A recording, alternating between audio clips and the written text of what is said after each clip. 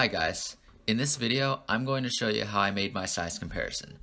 Because if you notice in this video, it says the video was uploaded on May 30th, 2020, but in reality I actually finished it almost two months ago. So believe it or not, it took me about three weeks to go from part 30 to finishing the entire comparison. So that's about 70 videos I made in three weeks. And so if you think about it, that's that's over three videos per day. And I'm going to show you how I did this. So first, I made sure I had all the objects collected before moving on to create part 30, and I did for the most part. I had to actually uh, fix some things with larger stars and getting more exoplanets and whatnot, but they were only minor things. Okay, so I made sure I had all the objects in a spreadsheet, but the way I decided to do it was I decided to make different spreadsheets. So here are the different spreadsheets I, I made with the different object sizes. So what I did was I planned out what the size range would be for each individual part. And since I already, I could do this since I already finished collecting all the objects. And you probably noticed that all my size comparison parts, they have the same format. So this is the template I made for each size comparison part 30 through 100. And so I decided to make all of these for each individual part right away. So each part 30 through 100 was at first just the template. Now the thing I realized is that most people take way too long placing the name and size of the object in the size comparison most people would just type it individually in the text box. But what I decided to do was I manipulated the text in such a way that I made this. Now, the reason why this is useful is because all I have to do now is just copy and paste it into a text box. So here is a demonstration of that.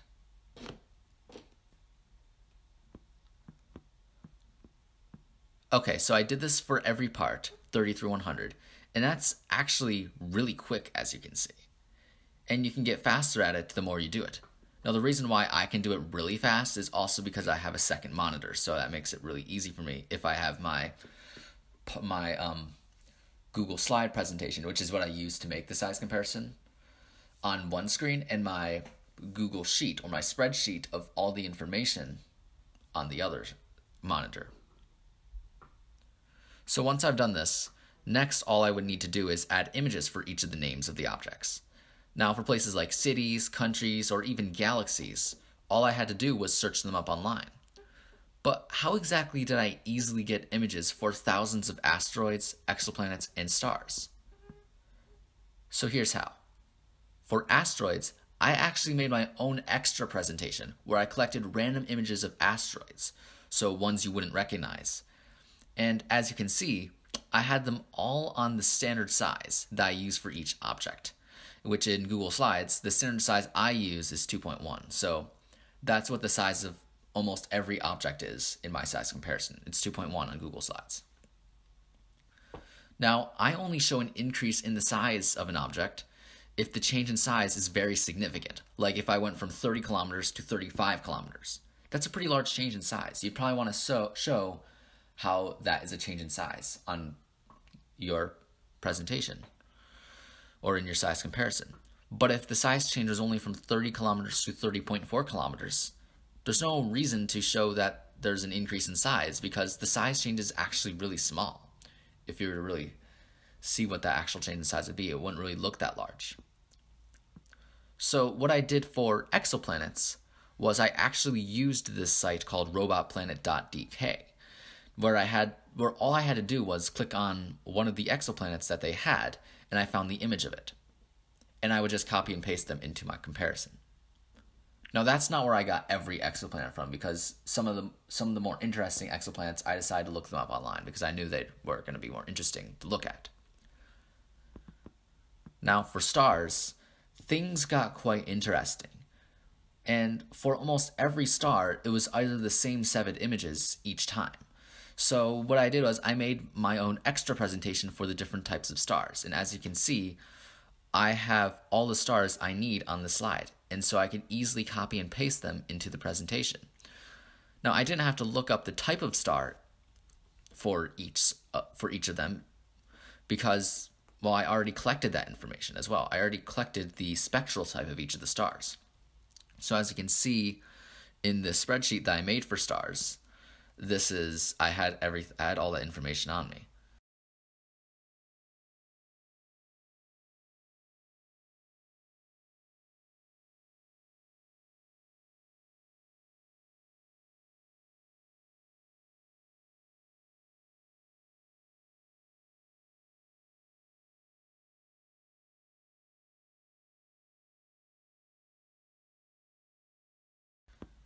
So that's basically it for adding images to my, my size comparison.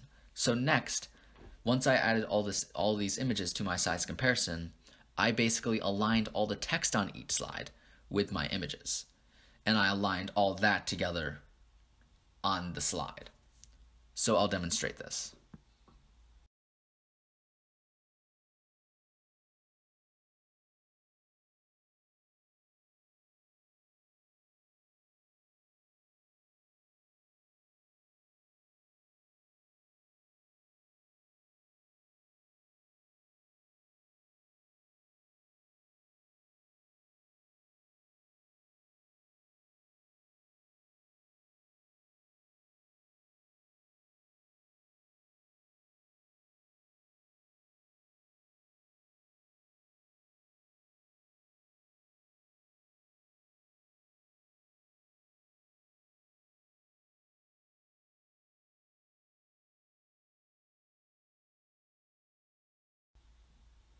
So that is how I align the text and the images. And based on how I align the text and images, you can see why my presentation tends to run very smoothly. It's because everything is center aligned, and so it's never too far to the left, or it's and it's never too far to the right when it goes from slide to slide. So as you can see, many of the things I did here weren't that complicated at all. Now, I would definitely say that adding the text by a simple copy and paste is what really made me finish this entire thing really quickly. I'm not even kidding. It's like it's it's like really really quick. Um, but it's also because I was dedicated to finishing this after my school closed down due to COVID 19. So I was motivated to finish this because I knew I could do it. So once I finished making all the parts for my comparison, I took about a day to record each part 30 through 100. And that's actually what I did. I recorded each part 30 through 100. Basically, the video recording of it. it. Took me only a day to do to record 70 videos like that. Since most of them are between 5 and 10 minutes long, you could probably do that.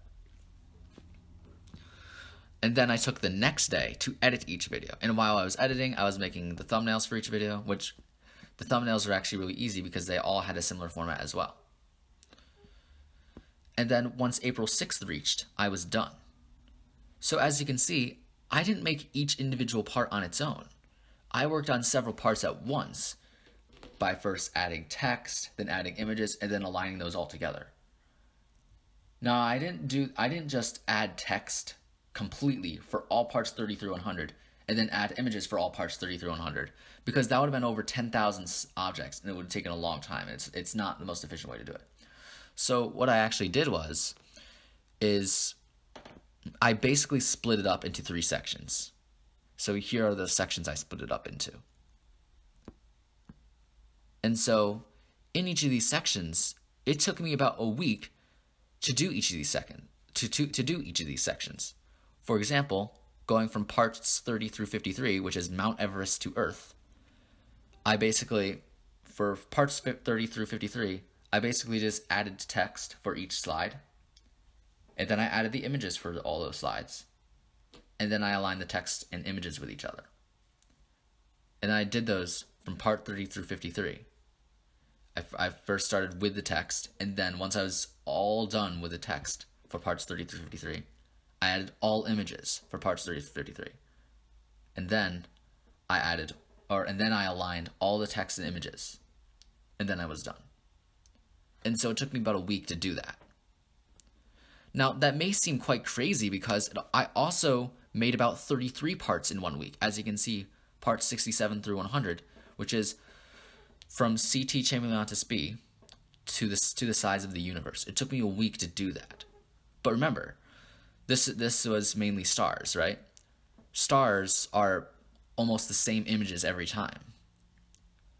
Another thing you notice is well, notice how parts 54 through 67, that's a really small amount of parts compared to parts 30 through 53 and 67 through 100.